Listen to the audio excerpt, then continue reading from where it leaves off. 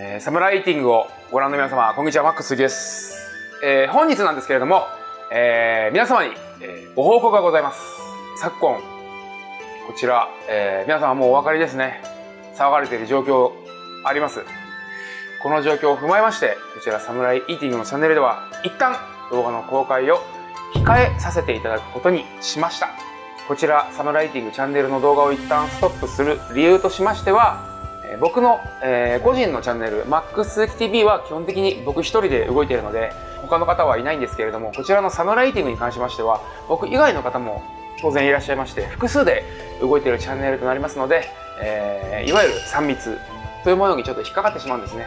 その辺も考慮して、ちょっとストップさせていただこうかなと、そういう感じでございます。まあちょっと寂しいですけども、これは一体方ないです。はい、それで、えー、こちらのサムライティングのチャンネル一旦動画ストップさせていただくんですけれども、えー、僕のメインチャンネルの方は、えー、違った形で公開していきますので、えー、こちらお休みの間は僕のメインチャンネルをご視聴いただければなと思いますのでよろしくお願いします。マック鈴木 TV で検索していただければと思います。はい。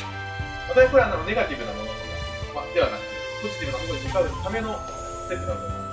あそうですよね。はい、まあ、この状況がね、ちょっとでもこう良くなってきて、もう完全にもういろいろできますよって時になった時に、まあだから分かりやすく言うと、はい、今あの、バネをこう縮めてる感じなんですよ。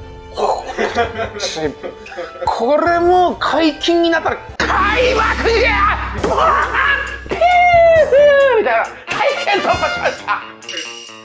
はい、そんな感じで、はい、皆様お待ちいただければと思いますので、決してバイバイではございません。これは、あの、今日を言うための、えー、準備期間だと思っていただければなと思います。ちょっと、俺侍、ちょっと、政宗を探しに行ってくるずらあ、ごめん、それは分かんなかった。名刀みたいなイメージ。名刀みたいな。分かんないけど。あ、伊達の方かとあの、あの、剣の、剣の。あ、剣の。